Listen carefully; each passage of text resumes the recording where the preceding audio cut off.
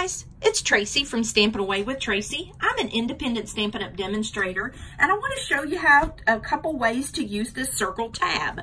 I do use this a lot for organization, for not only for my um, stash room, for my craft room, for my Stampin' Up! supplies, but I also use it for things in the kitchen, such as warranties and important documents and things, and I want to show you how you do it.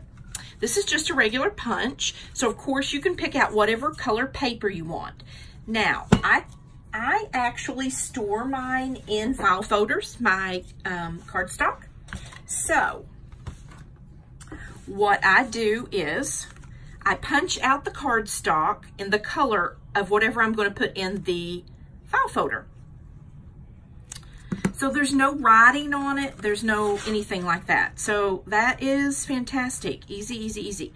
So you just follow that, put that over. Hold it down with a little Tombow. I do think Tombow works best.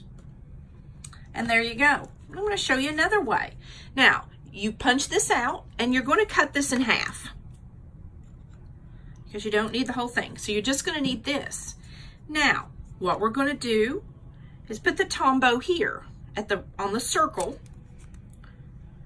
To, and you're going to put this on your file folder like that. Now, look how nice that looks. That's great for household items. You can write on it to show whatever it is, or you can assign a color per room for like your warranties and different things. But that's kind of the little tip I wanted to give you for the circle tab. I hope you like it. I hope it's useful. Don't forget to like, subscribe, share, and comment. Down below will be my Facebook page. I also send out an email. Message me with your email address. I'll be happy to add you. I hope you all have a great day. Thanks, guys.